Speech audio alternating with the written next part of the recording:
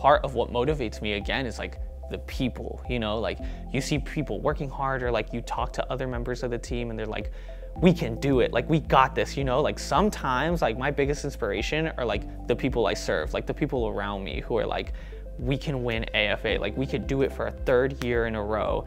And like it invigorates you and you're like, yes, like let's let me as like the captain and like my co-captain, let us create like the tools and the organization and like the scheduling for us to get to that point. It's been amazing watching Fernie really grow over the last four years as a student who came from El Paso, who was struggling sometimes even to just get the internet to work, to now leading the team and showing others what it means to come from a small town or a big city that feels like a small town like El Paso and really break the barriers for um, what it means to grow and really expand. I've been able to take like so many like polycom and non-polycom classes and the professors here just know so much about so much.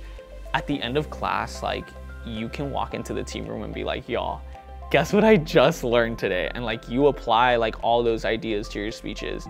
March to April is nationals preparation. So right now, like we're in nationals prep and it's where we do a lot of really intensive work more peer sessions, more coaching sessions to get us prepared for April, which is when we have our AFA and NFA national tournaments. I tried to get all of the students to, to understand that speech is not an end state or an end game in and of itself, that it's a tool that we use to become better performers, better presenters, and better thinkers. And that moniker of what starts here changes the world is, uh, you know, is it, it, goes along with that sensibility, I think, directly.